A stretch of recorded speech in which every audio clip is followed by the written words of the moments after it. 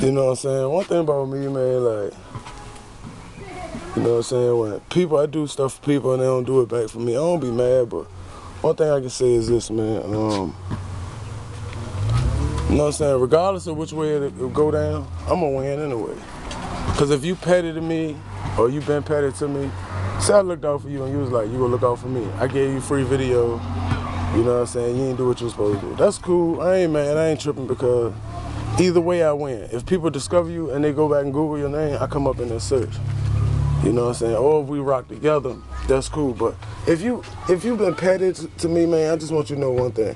A 30 second commercial on average on a major network costs five hundred thousand dollars for 30 seconds.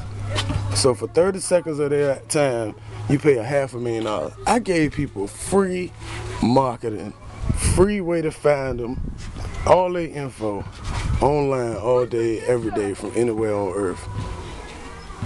Forever. And I don't even be deleting other people's stuff. Forever. What is that worth? If a 30 second commercial is worth $500,000, you know what I'm saying? I got 24,000 YouTube videos. What is that worth? It ain't going nowhere. That number ain't going down. It's going up. I'm going up. I'm not stopping, man. Like, biggest name in the game. Y'all know what I do. Y'all know how I do it. You know what I'm saying? I don't trip on petty stuff. I get money, man. That's all I do. And build brands. Biggest name ever is mine.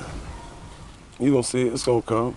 Everything don't happen overnight, but keep watching me. Man, I got 24,000 YouTube videos. Come on, man. On my way to 30. I ain't playing it. This ain't no game. So I ain't playing. People look out, they look out. If they don't, it's cool. They won't stop this money. You Sure did.